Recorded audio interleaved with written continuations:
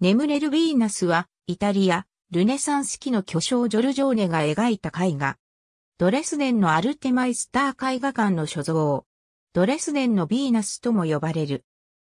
後世の絵画に多大な影響を与えた絵画で、バザーリが最初に指摘したように、風景や空の表現は1510年の彼の死後に、ティツィアーノによって加筆され完成を見た。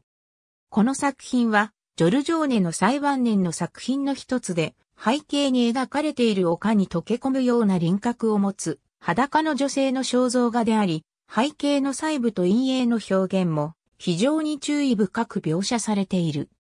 ただ一人の裸の女性を主題に選んだことは、絵画史上の大変革となり、この作品は何人もの権威を持つ学者によって、近代美術の出発点であると考えられている。眠れるヴィーナスは、ジョルジョーネの存命中には完成せず、風景と空は後にウルビーノのヴィーナスを描いたことで知られるティツィアーノが完成させた。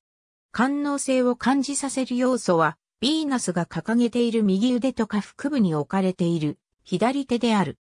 シーツは感触のシルバーで、それまでの絵画でリンネルを表現するときに使われていた暖色系の彩色とは異なっている。このシーツの表現は、後のティツィアーノやベラスケスの絵画に、その影響を見ることができる。背景の風景は、ヴィーナスの死体のラインをなぞるように描かれ、それは同時に人の体が本来自然と一体のものであるということをも表現している。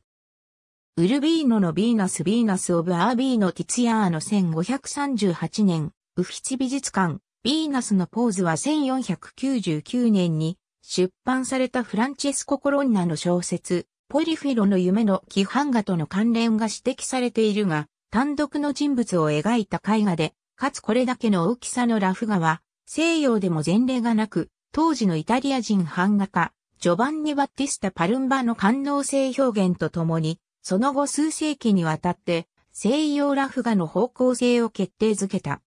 それまでにもラフを題材にした版画は存在したが、絵画としては、ヴィーナス誕生、プリマベーラというボッティチェリの有名な両作品が年代的に最も近い。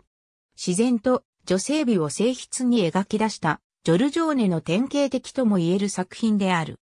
この絵画の構成は、アングルやルーベンスなどの構成の画形にも影響を与えた。